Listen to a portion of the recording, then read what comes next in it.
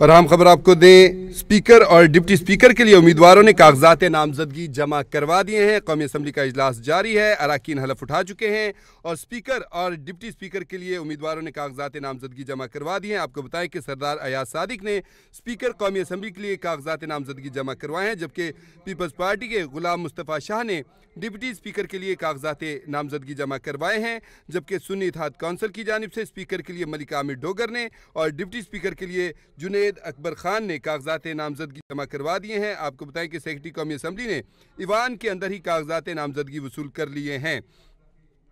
आपको बताएँ कि कौमी असम्बली का अजलास जारी है। अरकान हलफ उठा चुके हैं और अब रोल ऑफ़ मेंबर पे दस्तखत किए जा रहे हैं। अरकान की जानब से, जबकि इसी दौरान स्पीकर और डिप्टी स्पीकर के लिए उम्मीदवारों ने अपने अपने कागजात नामजदगी जमा करवा दिए हैं। आपको बताएँ कि सरदार अयाज सादिक मुस्तफ़ा शाह, इन्होंने स्पीकर और डिप्टी स्पीकर के लिए कागजात नामजदगी जमा करवाएँ, जबकि सुनी इतिहाद कौंसिल की जानब से मलिक आमिर डोगर ने स्पीकर के लिए और डिप्टी स्पीकर के लिए जुनेद अकबर खान ने कागजात नामजदगी जमा करवाए हैं। हम खबर आपको दे रहे हैं कौमी असम्बली का अजलास इस वक्त हो रहा है और अरकान असम्बली जो हैं वो हलफ ले चुके हैं। राजा परवेज़ अशरफ ने, जो कि स्पीकर हैं, उन्होंने हलफ लिया तमाम अरकान से। बड़ा हंगामा खेज़ इजलास आज का हुआ है और आपको बताएँ कि इसी दौरान ही, जबकि अरकान रोल ऑफ़ मेंबर पर दस्तखत कर रहे हैं स्पीकर और डिप्टी स्पीकर के लिए उम्मीदवार ने अपने अपने कागजात नामजदगी जमा करवा दी हैं। सरदार अयाज सादिक ने स्पीकर कौमी असम्बली के लिए कागजात नामजदगी जमा कराएँ, जबकि सुनी इतिहाद कौंसिल की जानब से स्पीकर के लिए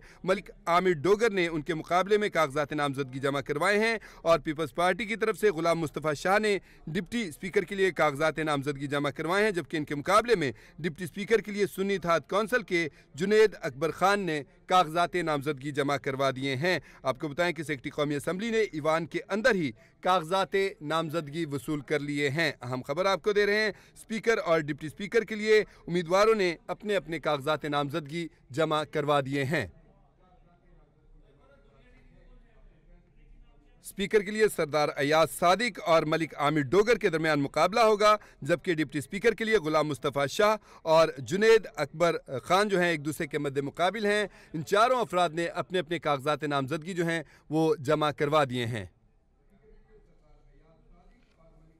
स्पीकर और डिप्टी स्पीकर के लिए उम्मीदवारों ने कौमी असम्बली के सेक्रेटरी को अपने अपने कागजात नामजदगी जमा करवा दिए हैं।